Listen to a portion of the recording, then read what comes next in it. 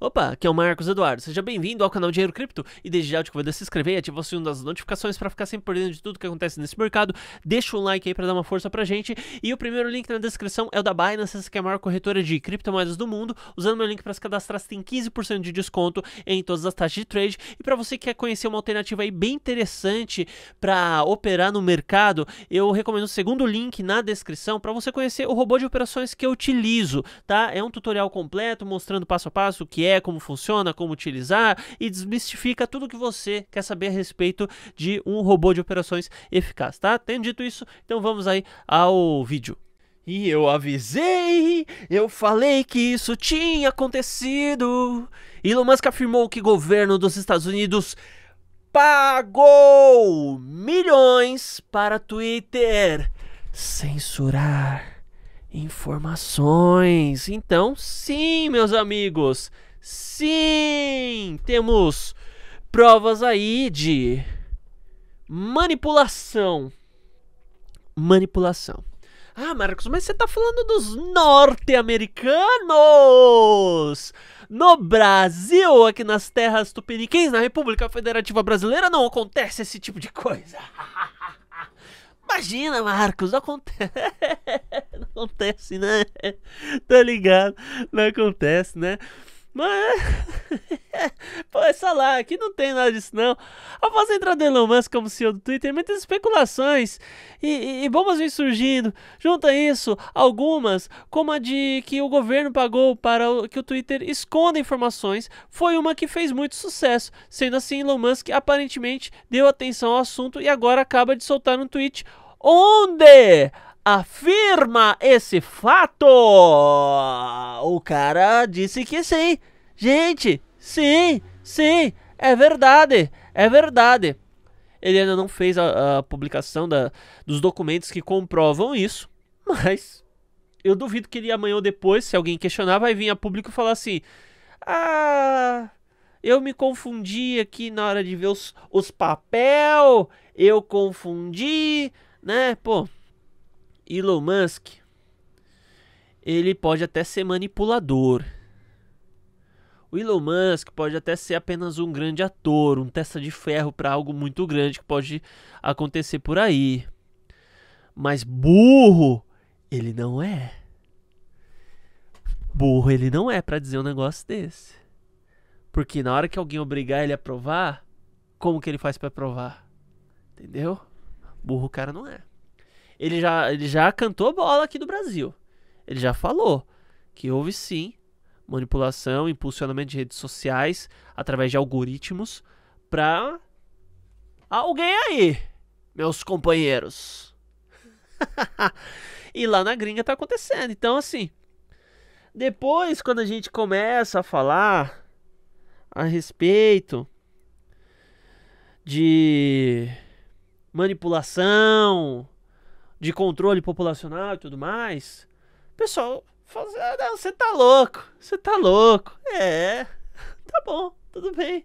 Deixa o seu louco, deixa o seu louco. Você, o esperto é você, né? O esperto é você. É, tá bom, é isso aí. Especialista indica sete tendências que podem bombar o setor GameFi em 2023. Bom, e lendo essa matéria aqui, né, do, do, suposto aí especialista e tudo mais, ele fala a respeito dos jogos blockchain, fala de plataformas, migração Web 2 para Web 3, é, fi, digital, né, tendências que misturam iniciativas do mundo físico e digital simultaneamente, comunidade, cenário competitivo, metaverso e tal. Só que assim, é, vamos ser sinceros, jogo, jogos AAA ou jogos AAA, eu vou falar por último. Mas olha, para ser bem sério com vocês, não adianta nada, não adianta nada você querer supor, querer prever aí, é, quando a gente vai ter uma, uma alta do, do, do, do, setor blockchain games, ou GameFi especificamente, ou metaverso, até mesmo de tokens, ou, ou de NFTs, pode até expandir para outras áreas. Não adianta nada, enquanto o Bitcoin estiver em baixa, a gente não vai ver o resto do mercado subindo. Então, o pessoal pode chorar, pode rezar, pode orar, pode fazer macumba, pode fazer o que for. Enquanto o Bitcoin estiver em baixa, infeliz, o resto do mercado vai estar tá em baixa. E o máximo, o máximo que a gente pode ver é Bitcoin baixa e algum movimento a curto prazo de alta acontecer. A curto prazo, por quê? Bitcoin cai, mesmo essa alta que a gente teve, a gente vai ver uma correção. Não tem como funcionar de forma contrária. Não tem como haver um descolamento de proporção de preço. O que acontece no máximo é um, uma é, uma valorização ou desvalorização, ou seja, um, uma, uma cópia de sentido, porém de forma estil, estilingada ou impulsionada. Então, com a alta do Bitcoin, o ativo XYZ ele sobe muito mais que o Bitcoin. E vice-versa, com a queda do Bitcoin, o ativo cai muito mais. E é basicamente o que aconteceu com o setor todo. Agora, agora, vim me falar assim: jogos AAA. Hum, agora que pegou aqui. Ó, jogos com alto nível de qualidade gráfica, interatividade, jogabilidade, enredo, orçamentos expressivos, responsáveis por atrair grandes públicos pela qualidade do entretenimento. Tá, vamos ser sinceros aqui, vamos porque assim, eu acho que o pessoal tá sonhando muito alto. Oh, calma, volta aqui pra terra. Volta aqui pra terra que, que o titio precisa conversar com, com você o negócio, né? Então, primeiro, quem, quem, é, exemplo de jogo AAA, caso você não entenda muito desse mercado, são aqueles jogos tipo topzera, vai. Assassin's Creed. Se bem que Assassin's Creed de vez em quando dá umas vacalhadas, mas vai. Assassin's Creed, God of War, GTA V, GTA, GTA V, inclusive, é o top dos top, né, do AAA, né, se bem que é um, e, olha que é um jogo proporcionalmente velho, né, mas enfim, a Rockstar quando tá pra lançar, lança os jogos pauleiros, Red Dead Redemption 2, um jogo AAA, Red Dead Redemption quando lançou também foi AAA, GTA San Andreas quando lançou foi um AAA, né, e, e o que acontece é que esses jogos requerem orçamentos gigantescos. Então a gente não vai ver nenhum tipo de jogo que é lançado por uma comunidade cripto que venha a ser AAA, tá? Esquece. Esquece. Ah, mas você vai pagar com a sua língua. Esquece, não vai. Não vai acontecer, porque precisa de uma grana absurda para fazer um negócio que nem esse. Ponto. Agora, você vê uma empresa que já produz AAA inserir recursos ou ainda é, produzir, realizar uma produção com base em critérios relacionados ao mercado das criptomoedas, tokenização, NFT, metaverso, DeFi, enfim, aí existe uma possibilidade ínfima. Por quê? Com o mercado em baixa, as empresas podem até investir mas elas sabem que não, não que a grande parte das pessoas não vai entrar em um projeto com o mercado em baixa. Então, assim, embora a gente fala assim do, do pessoal que é burrão em relação às criptomoedas, não, não burrão no sentido do, do, cara que não conhece nada, entrou agora e tudo mais, mas no, o cara que não quer entender. Tem, tem gente que é assim. O cara ele não só ele, é, ele não entende um assunto, mas ele faz questão de não querer entender e ele quer só o dinheiro fácil. Ah, dinheiro fácil e acabou. Então, em relação a isso, é, as empresas elas podem até desenvolver alguma coisa, mas a visão delas ainda está um tanto deturpada.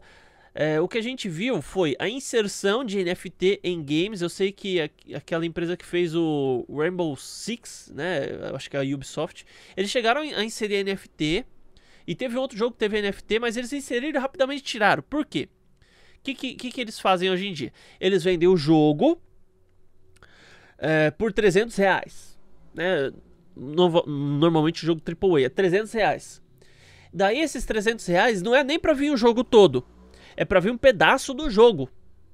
Porque até então não é assim que ah, os caras criam um jogo e depois eles criam um outro negócio pro jogo. Não, eles já criam o jogo completo, só que daí eles quebram o jogo em alguns pedaços para poder te vender separado. Daí você muitas vezes você paga 300 reais num jogo, claro, jogo de, de videogame vai estar tá por volta disso mesmo, 300 reais um jogo, um, um AAA. Se for jogo para computador, beleza, vai ser mais barato, mas para videogame vai ser em torno de 300 reais. Daí, além disso, dentro do jogo os caras colocam não é expansão que fala, é DLC. Eles colocam DLC que é tipo um, uma historinha extra, um negocinho a mais. Daí você ainda vai comprar roupinha pro personagem, vai comprar isso, vai comprar aquilo. Tem a loot box, que é o que? Você quer um item específico, só que você não consegue nem comprar esse item às vezes. Você tem que comprar uma caixa misteriosa que dentro desse item você tem a chance de 1 em 10 mil alcançar o item que você queria.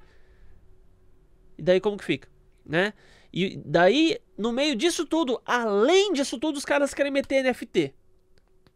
É óbvio que não ia dar certo e não deu certo. Então, a indústria dos games precisa aprender muito ainda antes de trabalhar com trabalhar com qualquer coisa do nicho das criptomoedas. Eles precisam aprender muito assim. Estão anos luz de distância de fazer qualquer coisa que preste ainda, infelizmente. Estoque de Bitcoin nas mãos de investidores individuais cresce, diz Glassnode. Os pequenos investidores estão acumulando cada vez mais Bitcoin, de acordo com dados de blockchain da Glassnode, estabelecendo um novo pico. E, gente, isso daí é muito positivo para o cenário do, do Bitcoin, para o cenário das criptomoedas, num contexto geral, porque isso é mais um fator de descentralização que acaba é, chegando ao mercado. Por quê? O grande problema, né, o, o que poderia bater de frente com o Bitcoin e o que, o, o que poderia atrapalhar o seu avanço é justamente uma grande instituição dominando tudo e tendo uma porção avassaladora diante do total e essa empresa passar a dominar a realmente praticamente mandar em tudo. Claro, não estou falando em questão de governança, mas em relação a preço, né? Daí começa a fazer aquele esquema de dinheiro infinito, manipulação, quando é para comprar é, ou quando é para vender. Enfim, dá para fazer vários tipos de esquema você tendo muito dinheiro, né? Quanto mais dinheiro você tem, mais dinheiro você consegue é, fazer. Eu sei que você fala assim, ah, mas daí é óbvio, né, Marcos? É óbvio, mas muitas vezes só passa a ser óbvio depois que alguém fala. Antes que alguém, antes alguém te mostrar, você não chega a pensar a respeito disso. Mas uma, um ponto bem interessante que a própria Glassnode falou é que isso daí é um cenário muito positivo e traz muita solidez, ou seja, muita gente tendo Bitcoin e o acúmulo por uma quantidade grande de pessoas começa a trazer maturidade e solidez para o mercado e, por consequência, em um período de alta, a gente pode ter uma alta mais gradativa e consistente. Até porque eu sei que muita gente gosta do oba-oba, do ah, foi lá para cima o preço com tudo. É muito bom você ganhar dinheiro dessa forma, é muito legal, mas uma alta muito expressiva e abrupta tem por consequência uma baixa expressiva e abrupta. Então, uma alta gradual é algo que deixa o ativo com mais espaços para desenvolver é, regiões de suportes e resistências. Então, você consegue, durante uma baixa, é, analisar melhor o mercado, trabalhar melhor nele e gradativamente assim o Bitcoin vai seguindo na direção de ser um ativo que possa ser usado no dia a dia para pagamento. Não que hoje não possa, mas com grandes oscilações, isso espanta muitos lojistas, aumenta a taxa de conversores automáticos. Então, muitas vezes o cara ele tem lá uma margem de lucro de 20% em um determinado produto. Ah, aqui minha margem de, de lucro líquido nesse produto é, é 20%. Daí ele, ele pega, vende o produto para um cliente, recebe em Bitcoin, Bitcoin despenca 15%, né? o lucro dele foi 5%. Então tem muita coisa ainda que descaracteriza o Bitcoin como uma boa possibilidade de utilização no dia a dia. E é claro, eu não creio que vai chegar um momento que o Bitcoin vai ser usado no dia a dia. Vai ser muito provavelmente alguma altcoin que, que vai ser utilizada. Mas ainda assim, uma estabilidade no Bitcoin é melhor para todos os investidores.